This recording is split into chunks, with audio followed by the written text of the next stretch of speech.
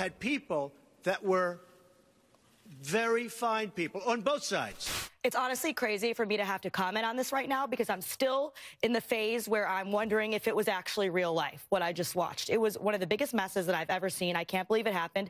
In the remarks he made today, the president revealed what he truly thinks about race in America. He revealed what he thinks about fundamental fairness, about a president's role in binding up the nation's wounds and appealing to the better angels of our nature, to quote another former president. Folks, what I just saw gave me the wrong kind of chills. Honestly, I'm a bit shaken from what I just heard a bit shaken from what he just heard, uh, hearing from a number of folks who talk about this stuff every day. I want to bring in our panel now. Daryl Moody is a reporter with WDBO in, in Orlando, rather, also from Atlanta. We are joined by a candidate for Atlanta City Council, Mo Ivory, who's also an attorney. HLN's Mike Galanos still with us as well. Daryl, you're out there talking to people this morning. We heard from a couple of our callers. Was there an a, sort of a common reaction that you found among the folks in Orlando this morning, or did it run the gamut? Well, this story has dominated our airwaves since the details began unfolding uh, Saturday afternoon. And uh, for the last three days, I've been out on the streets talking to Central Florida residents. And basically, the responses that I've gotten fall into one of three camps. One, you're a Trump supporter. You think the Trump, uh, you think the president was identifying something that needed to be identified, and you didn't see anything wrong with his comments. Uh, there are those who are not Trump fans, and they say, you know, since the election, they've said Trump is a racist. This only affirms that he's being supported by racist organizations and groups. And for those folks, those folks, this affirms that to them. And then the third camp is uh, folks who say you know, the president really didn't go far enough in condemning the violence and condemning groups specifically. And I'm going to go back to one of your callers who said, you know, in times of crisis like this and tragedies like the ones that unfolded Saturday in uh, Charlottesville, uh, Americans look to the president to be a calming force, a steady hand from the White House. Uh, there to bind our wounds, as Anderson Cooper just said, uh, and I and, and that's not Trump's style. He doesn't take the high road. He's never taken the high road.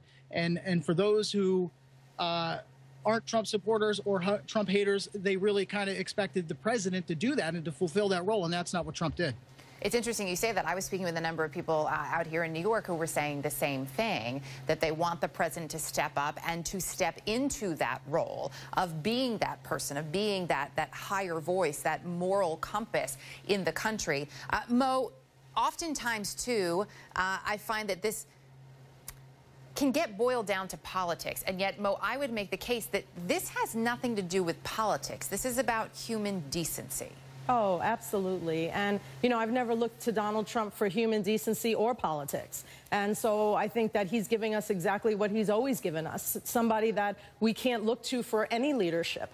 Um, I'm not surprised. I mean, every time I look to the TV and I know he's about to say something, I'm thinking to myself, what is this fool about to say now? No matter what it is, it's just so uh, disturbing that this could have been his moment. This could have been something that turned everything else that has happened in the last six months totally around, and he could have gotten, you know, some sort of respect, not even necessarily support, but just respect from people like me and even people that voted for him that are thinking to themselves now, why did I do that? This was that moment, and he could have stood for all Americans, and he chose not to. He chose not to in the nastiest of ways, in ways that bring back and, and harken a time that so many of us do not want to uh, introduce to our children. So now my 10 year old son had a homework assignment to ask me about Charlottesville and what it all meant. And so I had to talk to him about the KKK. I had to talk to him about things that I wasn't necessarily right at this moment wanting to talk about on only the second week of school. So this was a moment for Donald Trump to be the leader he has never been in his life for anybody. And he chose not to be it for anything but a small population in our country that has tormented the existence for so many of us. And it's just time, I mean, it's just time to put that out there, to talk about the truth, and to have some real, serious, honest conversations of what America is. And part of starting that conversation, obviously, is talking to Americans about how they feel about what they heard yesterday. Mike, I know you have another caller uh, who wants to share their view with us. Yeah, yeah, Ken is with us in Arizona. Ken, what are your thoughts? Did the president cross the line? What do you think? Uh, I don't think he crossed the line. I think he raced the line. He has not done anything different than he has done before uh, when he was in private business, when he put out all the small businesses that installed windows for him.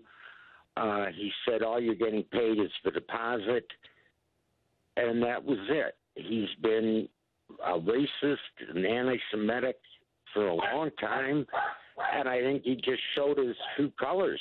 Hmm. He had a chance, as another caller mentioned, to, to stand up and make it his moment. And then he tries to equate George Washington and Thomas Jefferson, who have nothing to do with the Confederacy. Last I heard, the Confederacy existed in the 1860s, not in the 1700s. Yeah. And, And he has done nothing. You know, it goes back to when he was campaigning, when he knew more about ISIS than the generals. yeah, and, and about George has a- Washington he and Jefferson, that brain. he said, well, they were slave owners. Was, was his point a little bit later on uh, after he mentioned them specifically? And uh, Erica, you know, by the way, Ken, thanks thanks for the call again. One eight seven seven tell HLN is the number. You know, one of the fiercest critics was a Fox News commentator, Charles Krauthammer. I want to get his quote right, saying that what Trump did was a moral disgrace.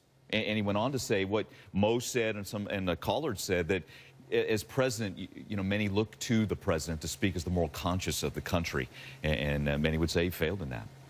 We're going to continue to talk about this, continue to take your calls. A short break, but if you would like to share your opinion with us, our panel's going to stay with us as well. The number again, 877 TEL HLN. We'll be right back.